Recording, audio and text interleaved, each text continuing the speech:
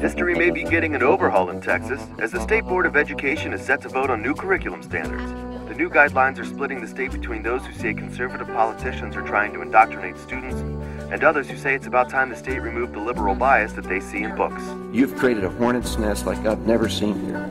We're a bunch of lay citizens on the State Board of Education, and we want to make sure that our children are taught good, solid American history, and uh, I think we're in step with most of the majority of Americans.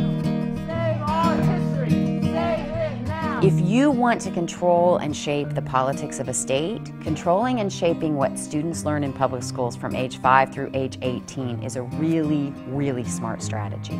Our religion says that we're all created in the image of God. And because every little child is created in the image of God, I want to see that they have the best opportunity possible. The high school classroom is no place to fight the culture wars. What you are discussing now is whether you will teach the denigration of evolution, which is a long-time creationist strategy to promote creationism through the back door.